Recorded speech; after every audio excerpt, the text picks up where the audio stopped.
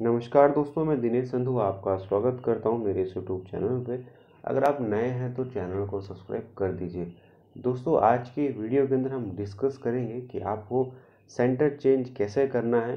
Himachal Pradesh university ने आपको एक मौका दिया है कि आप अपने नेटिव प्लेस, जो आपका नज़दीकी कॉलेज है, जो सेंटर नोटिफाई किया है एच ने, आप वहाँ पर अपने पीजी के एग्ज़ाम दे सकते हैं।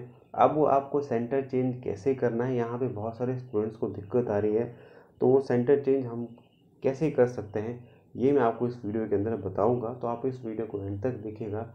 बहुत इंपॉर्टेंट वीडियो आपके लिए है, क्योंकि कोई भी गलती यहाँ पर नहीं होनी चाहिए। अगर आप पहली बार सेंटर चेंज करते हैं तो वो फ्री होंगे, अगर वहाँ पर कोई गलती हो जाती है तो बाद में आपको उसकी पेनल्टी देनी पड़ेगी मतलब कि आपको फ़ी पे करनी पड़ेगी यूनिवर्सिटी को। दोबारा सेंटर चेंज करने के लिए। तो इसलिए कोई भी गलती की गुंजाइश यहाँ पे नहीं होनी चाहिए।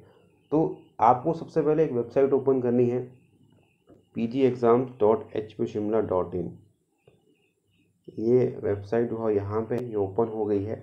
अब यहाँ पे आपको थर्ड पे ऑप्शन दिख रहा होगा change exam centre due to covid nineteen pandemic यहाँ पे क्लिक करना है।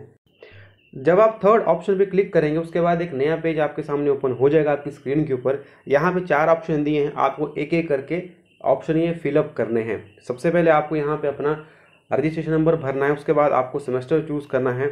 एग्ज़ाम टाइप में आपको फ्रेश या फिर रिपेयर भरना है और सिस्टम के अंदर आपको पीजी रेगुलर पीजी डायरेक्ट या फिर पीजी आई शेड्यूल जनवरी का बैच है, वो ऑप्शन आपको यहाँ पे चूज़ करना है।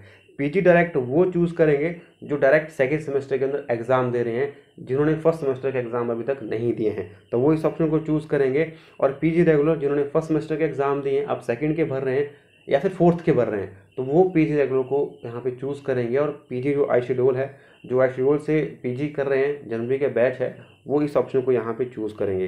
तो इस तरह से आपको ये ऑप्शन चूज़ करना है और उसके बाद आपको गेट डिटेल के ऊपर क्लिक करना है।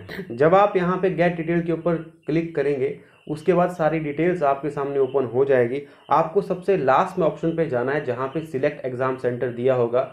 और वहाँ पे आपको वो सेंटर चूज़ करना है जो यूनिवर्सिटी ने नोटिफाई किया होगा। एक बात यहाँ पे ध्यान में रखिएगा कि आप सिर्फ़ एक ही बार में फ्री एग्ज़ाम सेंटर चेंज कर सकते हैं। दूसरी बार आपको फ़ी पे करनी पड़ेगी एग्ज़ाम सेंटर चेंज करने के लिए।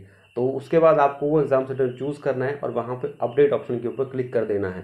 तो इस तरह से जो है वो आपका एग्ज़ाम सेंटर चेंज होगा। तो यही था इस वीडियो के अंदर। अगर आपको ये वीडियो इन्फॉर्मेटिव लगी तो आप इस वीडियो को लाइक करें शेयर करें कमेंट करें। कोई क्वेश्चन इंक्वायरी है तो आप वो भी कमेंट कर सकते हैं। चैनल सब्सक्राइब नहीं किया तो कर दीजिए। Thank you and thanks for watching